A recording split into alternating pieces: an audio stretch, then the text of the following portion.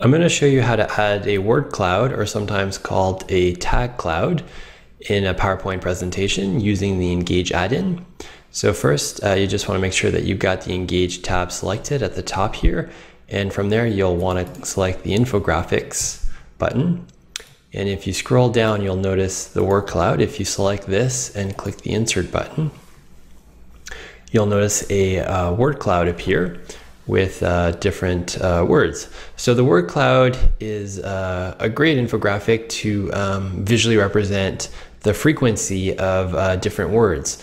And so sometimes um, you have words and it's hard to create a chart or a graph or a uh, type of visual to uh, represent um, text values.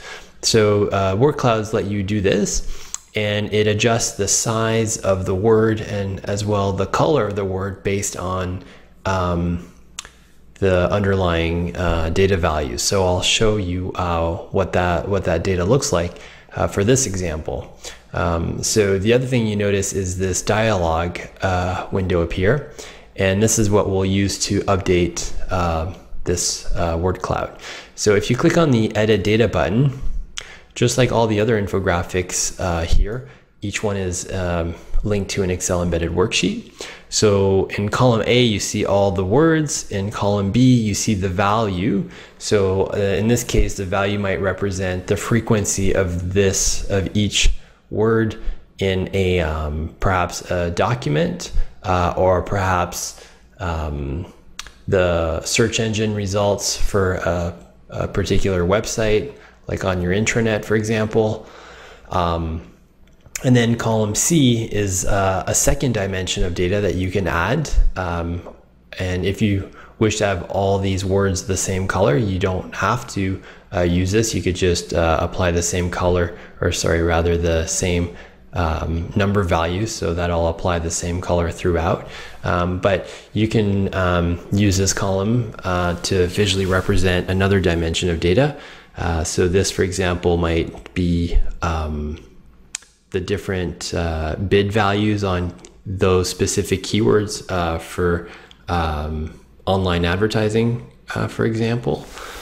So you can show how often people use those words when searching on your intranet versus how valuable um, those keywords would cost uh, if you were to use them to advertise online. Um, but like I said, it could be uh, anything. And so as long as you uh, respect the format here, which is these three columns, you can add as many uh, rows of data um, to represent different, as many words as you like, uh, or as little, um, as few words as you like. Um, but uh, it's easy to update. So if I update this to um, digital world, uh, I can update that. I can update the value from 280 to um, 300. Um, and uh, in terms of the fill value, I can keep it low uh, at 9 or I can make it uh, higher. Uh, so I'll make it even higher at 15. And when I'm done um, updating my data, I just close uh, the worksheet and it automatically redraws. So I made Digital World uh, bigger and more important, and that's uh, why it's um, it's the uh, biggest size word and the darkest blue as well. Um, so the other options I have here, I can change the color. Uh, so in this case, I'll go back to blue, but I can select any color. I can select the different color for the min value as well. So if I want more contrast between um, the um, higher frequency words and the lower frequency words, or in this case, um, um, the value of the keywords. I can do this. I can add a legend. Um, so in this case, it could be popularity, um, but I think we said uh, cost of keyword.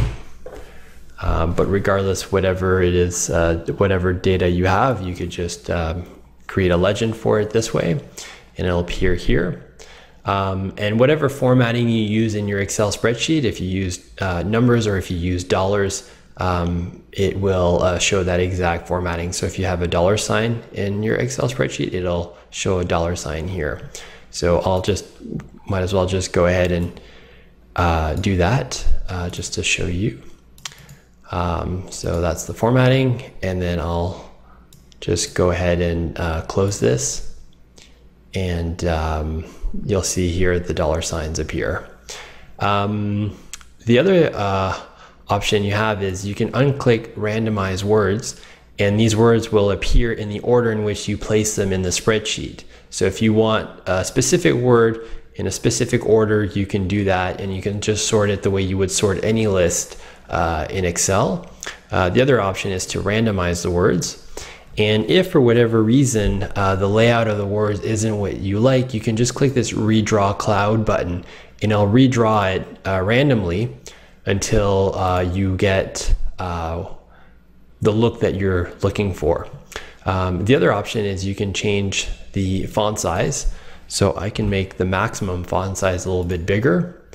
And um, I'll also increase the minimum font size as well. Uh, I'll make that a little bit bigger as well. Um, and so once I'm done, I can go ahead and close this window.